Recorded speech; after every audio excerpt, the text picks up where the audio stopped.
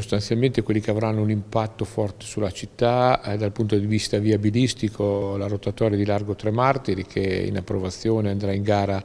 le prossime settimane, la ciclabile di Via Fratti, la ciclovia adriatica di mh, Colombarone, quindi che permetterà il collegamento con, eh, con, il comune di Gabice, quindi dal punto di vista viabilistico questi sono interventi molto, eh, molto importanti.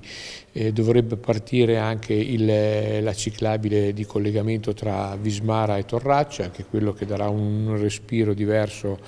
eh, rispetto al collegamento col mare, con la parte commerciale del quartiere insomma, di Vismara con il, il, resto della città. Partiranno sicuramente i lavori della nuova palestra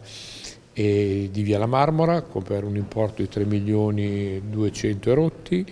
e partiranno con la fine dell'anno scolastico eh, i lavori al, ehm, alla scuola Dante Alighieri.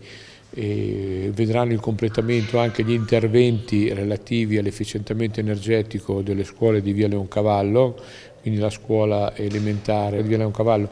e la materna della Grande Quercia, quindi tutti interventi che sono relativi alle scuole e che eh, presumibilmente insomma, vedranno l'inizio e la fine nel 2022. Un altro intervento importante che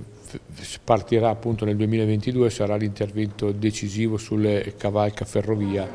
no, che è, oggetto di, stato oggetto anche di polemiche e di discussione per tanti mesi, ma noi avevamo atteso un finanziamento di 3 milioni dal Ministero degli Interni che eh, è stato certificato nel 2021 ma è esigibilità nel 2022 e a questo punto noi possiamo, potremo andare in gara e in accordo con RFI eh, fare il lavoro. Il lavoro è un lavoro complesso ovviamente perché eh, interveniamo sopra la linea ferroviaria.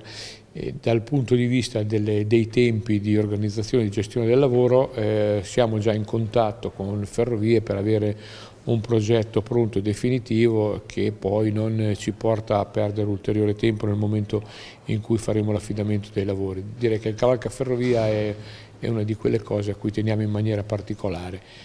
Partirà anche il, la, il, collegamento, il bando delle periferie con la ciclabile lungo il fiume Foglia e il ponte di collegamento e partirà anche il bike hub eh, che realizzeremo sotto appunto il cavalca ferrovia, anche quello contribuirà a dare un, una nuova vita a quel pezzo di città che per noi, insomma, ridosso della linea ferroviaria tra la ferrovia e il parco Miralfiore in qualche modo è stata un, una situazione un po', un po', critica che comunque andremo a, a risolvere da qui a breve.